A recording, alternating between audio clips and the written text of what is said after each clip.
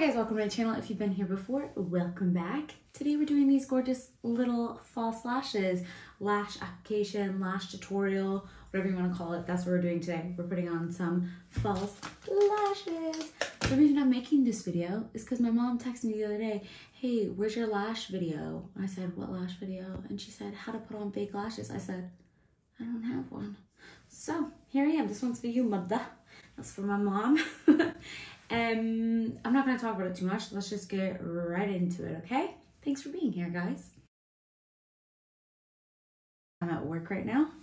I'm on a little break. This is my little treatment room. So we're just gonna get right into it. So today, these are my little lashes. I wish I could tell you where I got these from. I wish I could tell myself because I wanna order more. These are actually in my makeup kit at work. Um, let's just go through real quick, talk about what you're gonna need lashes. This little tool is absolutely amazing. If you don't have something like this, grab yourself some tweezers. Then lash glue. I love this duo glue in dark. This one is like a little squeezy tube, but they do have some that are like, you pull it out and it's got a little applicator that you can swipe onto your lash. Those are also great. I actually prefer those when I'm using it on clients. The only thing with those glues, the duo ones at least, is that they are incredibly strong, so they're kind of hard to get off. I like ease sometimes, and I don't have watery eyes, so I don't mind having something that's a little bit easier to get off. Some scissors, because you're gonna need to trim your lashes. Bit of mascara. I have a black eyeliner. This is totally optional. And I think that's it. So let's get started. First thing, I'm gonna apply a little bit of mascara. So I'm just gonna put a super light layer of this all over the lashes. It's pretty much just so that the lash, the false lash matches a little bit better with my natural lashes. If you're a blondie, you may need to put a little bit more mascara on, but try not to get it chunky or too thick or anything because you really don't want much mascara on when you're doing false, false lashes unless you're doing half lash, but that's not what this video is. Okay, cool. So while that's drying, let's get into the lashes. So guys, don't ruin your lashes. Um, these are a little bit of a thicker band. I don't know if you can kind of tell if maybe if you're super new to lashes, you really don't know what I'm talking about, but the band is the bit that actually holds the hairs onto the lash. So this band is a bit thick. You can see that it's quite dark. So it's not gonna be as fragile as some of the ones that are super thin bands. Those ones you have to be super careful with when you take them off. I like to use like the this part of my finger to roll them off like gently pull them by kind of a lot of hairs at once so that you're not pulling them by any end. If you pull them by any end, it's likely that you're gonna rip off some of the hairs and you ruin the lashes before you even get a chance. Next, I always go through and I don't know if you're gonna be able to see, but there's like little teeny bits of excess glue on here from the packaging. So I'm just gonna take those bits off.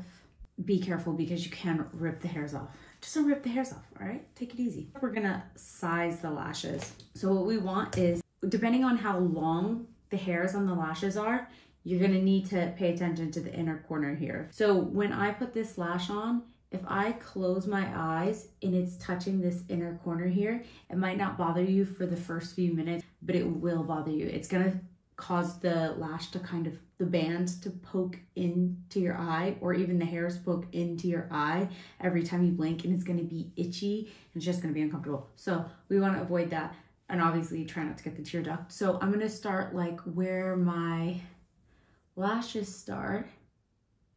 I'm just gonna lay this down and see how much I need to cut off. So I need to cut off quite a bit at the end there.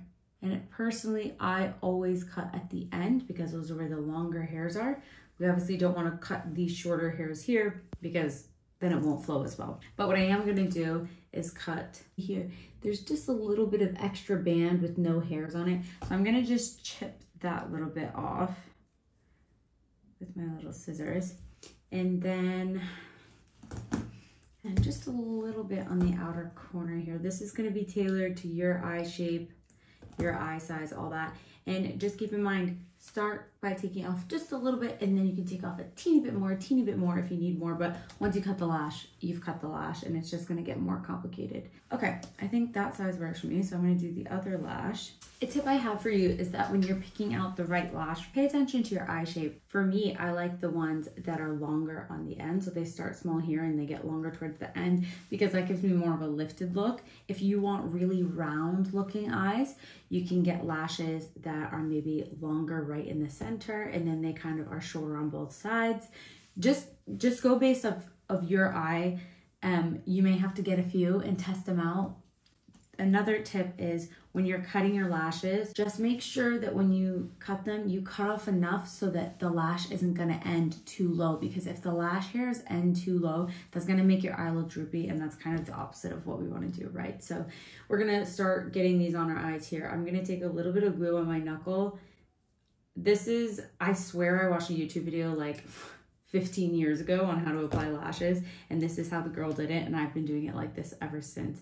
I don't do it for clients just because I use that the a different applicator for my lashes with clients, but this is how I do it for myself all the time. So I'm just gonna get a little bit right on that band. I hope you guys can see this well. I don't want it to be chunky or anything, and I'm gonna avoid getting it on the actual hairs, just on the band, right? So I'm gonna put this down for maybe like a minute, and that's gonna let the glue dry down a little bit and get a bit tacky. So this would usually be when I would do my lipstick or my lip liner or like some other step. Another very important tip for your lashes is do the rest of your makeup first. So I never do powders after I do my lashes because whenever you're doing those powders, you might not realize, but there could be fallout going all up in the air from the brush, swiping it everywhere, and that's gonna get in the lashes and it's just not gonna look good. I say do your lashes very last step.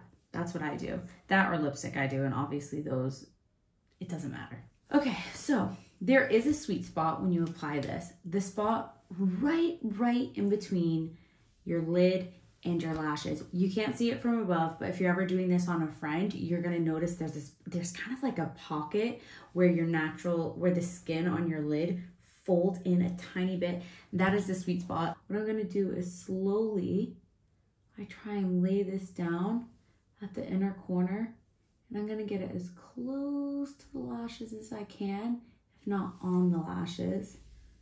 Okay, and then I'm gonna take my little tool to kind of shimmy it back all the way to that lash line and then we're going to go back in here and we're going to press this onto the skin. I haven't done a regular lash in ages, but I'm so proud of myself for how well I just applied that. If you have a thinner band lash, you may have a little bit of a harder time when after you apply it, you might notice you close your eyes and it's like a little squiggly or like your skin's being pulled a little funny. If that happens, it's fine. Just take it off and replace it. Or just let it be because who cares? And what I'm doing now is using these flat bits here to pinch together my natural lash and the false lash. This is another reason you don't want to make your mascara too thick is because when you do this, it might clump your lashes, your false lashes. It just adds a little bit of stability here. Gonna pop that right on the same way. And the reason you want your glue a bit tacky is because if it's not, then it's not gonna stay where you want it to. Like the lash will kind of slide all around and that's obviously not what we're looking for. We want it to stick right in place when we put it down. Gorge. Okay, so I'm just gonna wipe this glue off because if not, I'll forget and I'll get on my clothes. I cannot tell you how many items of clothing I've gotten this black glue on and it doesn't come off. So maybe you want a clear glue because if you're messy.